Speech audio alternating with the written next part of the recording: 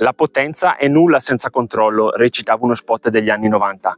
Ma oggi non parleremo di pneumatici, ma bensì di scarpe, anzi di scarpa, questa Spin 2.0 che rappresenta il modello più performante dell'azienda di Treviso. Oltre ad essere il modello più performante, probabilmente è anche il modello meno conosciuto. Questo paio l'ho preso online nel 2022 per correre le gare più corte, ma è tuttora il modello in vendita. Vi starete chiedendo se nel 2024 ha senso comprare una scarpa leggera e reattiva senza piastri in carbonio. Certamente, per la sua flessibilità, ma per capire meglio tutte le caratteristiche, come al solito, andiamo a correre. Nella taglia maschile US 9 la Spin 2.0 è una scarpa di soli 240 grammi, 10 grammi meno della versione precedente, una scarpa da trail running tra le più leggere presenti sul mercato. L'altezza del suolo è solamente di 20 mm nel tallone e 16 mm nell'avampiede, il contatto con il terreno è perciò estremamente sensibile e preciso. La tomaia della scarpa è in mesh, leggero e traspirante, rivestito quasi interamente da questa gabbia in TPU che forma una sorta di esoscheletro, un sistema costruttivo tipico di scarpa con la funzione di sostenere e contenere il piede. Nonostante la presenza di tutto questo materiale plastico, la traspirabilità è garantita da numerose aperture frontali e laterali che permettono al piede di rimanere perfettamente asciutto, specie in gara dove la sudorazione è sicuramente più accentuata. La calzata della scarpa è estremamente comoda, una delle migliori mai provate, soprattutto per essere una scarpa racing. La Spin 2.0 utilizza una costruzione interna a calzino, in modo da avvolgere il piede per dare, oltre che comfort, anche precisione ad ogni appoggio del piede sul terreno. La linguetta della scarpa è molto morbida e spessa, è stata studiata per avvolgere completamente il collo del piede, evitando punti di compressione e cercando di dare maggiore sensibilità e controllo del piede.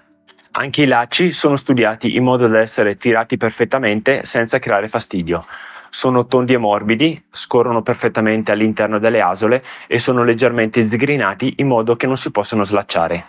Possono sembrare all'apparenza particolarmente lunghi, ma sulla linguetta troviamo questa piccola pochette per dirla alla francese, dove poter infilare i lacci una volta annodati, evitando così fastidiosi impigliamenti.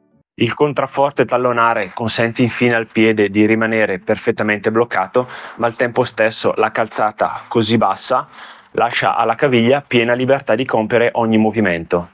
Per essere una scarpa da gara ho apprezzato davvero tanto il fatto che non si è scesi a compromessi per quanto riguarda la struttura della scarpa. Tutti gli elementi non sono solo funzionali, ma sono stati progettati per conferire comfort, precisione e robustezza.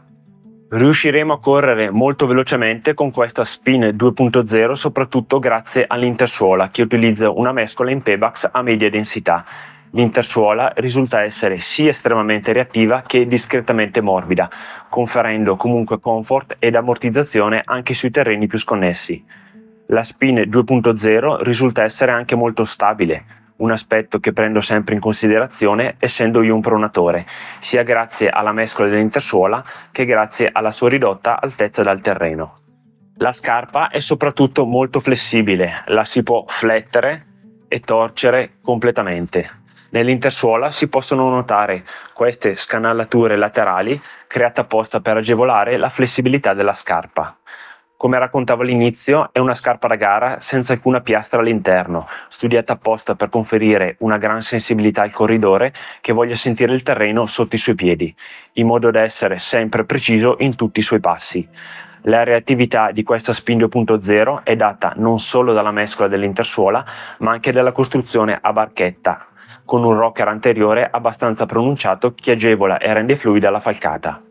Per aumentare il comfort della scarpa e distribuire meglio le sollecitazioni della nostra pianta del piede, in questa Spin 2.0 è stata inserita una soletta Ortolite dello spessore di 2 mm.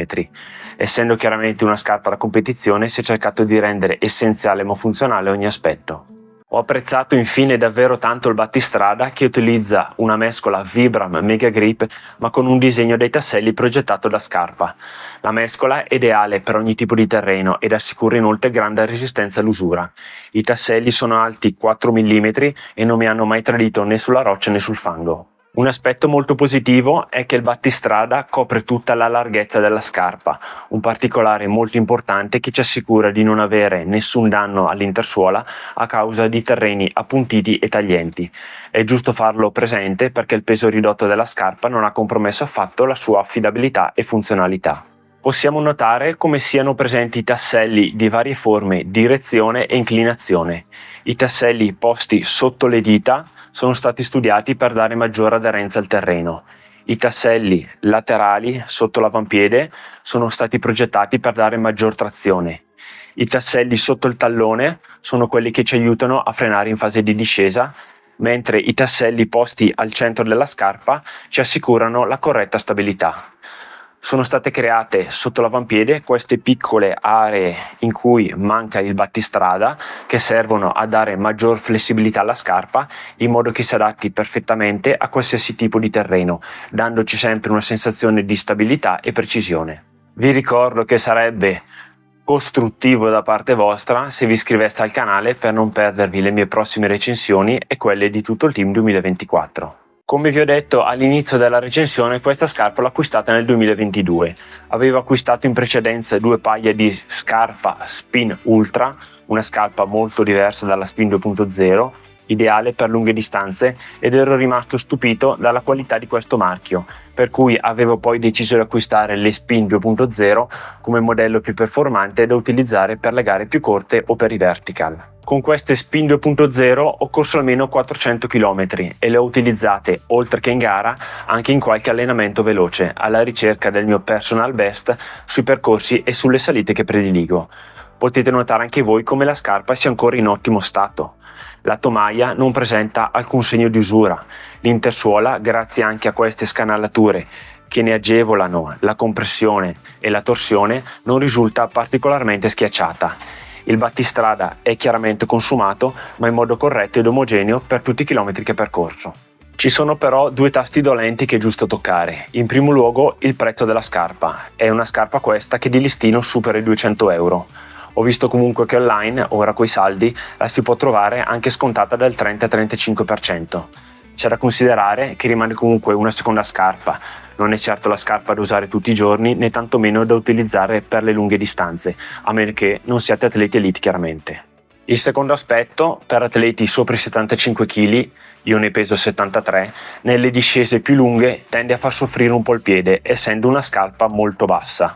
Rimane solo un mio parere personale, ma avrei preferito magari un paio di millimetri in più nell'intersuola, sacrificando eventualmente la linguetta, i lacci o il portalacci per mantenere lo stesso peso. Rimane chiaramente un parere personale perché Scarpa si avvale della collaborazione di Marco De Gasperi, che ne sa sicuramente molto più di me e di tutti voi in fatto di corse in montagna. La Spin 2.0 la vedo adatta quindi ad atleti medio-leggeri per i trail e le sky race più corte, di massimo 20-25 km. È una scarpa estremamente precisa e stabile su ogni tipo di terreno. Non avrete mai il dubbio che il vostro appoggio possa non essere sicuro non la consiglio da utilizzare nelle sky race con discese lunghe e rocciose, mentre nei trail che si sviluppano per sentieri, dove il terreno è più morbido, è sicuramente la scarpa ideale. È soprattutto perfetta per le gare vertical, dove il peso della scarpa ha un'importanza fondamentale, così come la trazione. In conclusione, se volete acquistare una seconda scarpa da utilizzare nelle gare più corte o semplicemente che possa regalarvi soddisfazioni, aiutarvi a spingere e portarvi a casa qualche personal best, la Spin 2.0 è sicuramente la scarpa giusta, ma prima di tutto chiaramente vi dovrete allenare. Non ho più nulla da dire su questa Spin 2.0 se non che nel 2024 è previsto l'arrivo del nuovo modello, la Spin Race, che virtualmente è già nel mio carrello della spesa.